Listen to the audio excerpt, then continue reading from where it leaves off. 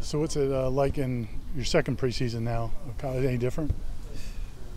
No difference, man. Like I say, everybody saw the post, man. Same goal, new season. We we getting after it, same thing, just pushing to get comfortable in, in that position, understanding that this my year. Just continue to be comfortable in what I do in my position. What do you think the biggest strides you've made so far from last year to this year? Understanding that it's it's a keeping that you versus you mentality. You mess up, everybody got every dog got his day. So even though you mess up, keep going. Keep understanding that it's, it's a bigger picture. And last year I know I had it was times I mess up and I get I get down on myself, but understanding that count to three, get to that next play and go do you. You and uh, a lot of people didn't know much about you and Duke coming into last season. Um, but what, what you guys did, you, what do you need to do to kind of, because people now they know who you guys are. What do you guys need to do? Continue to push, continue to push that sled, push that sled, push that sled until they understand who we are. It's it's gonna take what it takes, but I, I guarantee you by the end of this year, everybody gonna know our name. Sam McCall, Azareye'h Thomas, young guys coming in and pressed early in the spring. Your thoughts on them so far in fall camp? The young guys in our room, I, I just feel like they've been here before.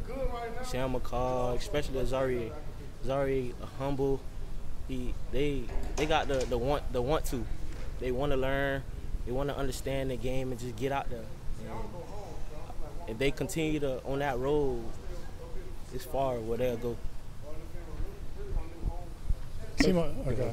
I was, Coach Norvell mentioned uh, y'all did a lot of one-on-one work today with the receivers. Uh, he mentioned the receivers had a good day. Who has stood out to you in these first two days of camp at the wide receiver position? Um, Ja'Khi Douglas definitely, Johnny, Pokey, uh, Mycah. I f- I feel like a lot of our receivers standing out. Malik, Malik definitely. Malik is somebody.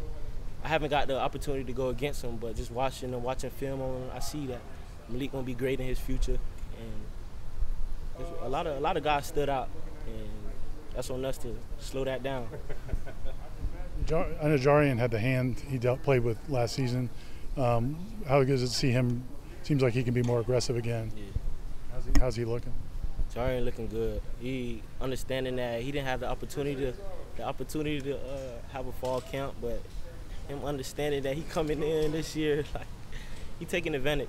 He even off the field, you can see that he continued to slow down the things that he doing, taking taking advantage of the opportunities that they're giving us, watching more film, extra work, like just knowing that he gotta he gotta slow down in order to do what he gotta do on the field this year. Thank you, sir.